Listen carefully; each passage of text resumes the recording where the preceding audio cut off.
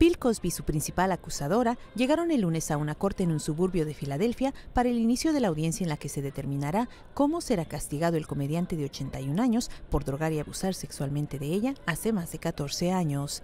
El actor fue hallado culpable en abril de abusar de la ex empleada de la Universidad de Temple, Andrea Constant, en su casa a las afueras de Filadelfia en 2004.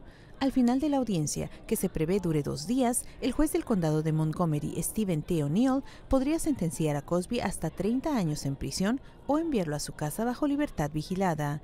Los lineamientos del Estado para alguien como Cosby, que no tiene condenas previas, establecen entre uno y cuatro años tras las rejas.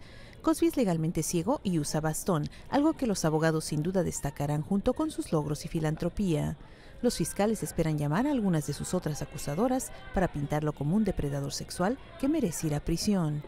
En los años desde que Constant acudió por primera vez a la policía en 2005, más de 60 mujeres han acusado a Cosby de violencia sexual, aunque ninguna de esas denuncias ha llevado a cargos penales.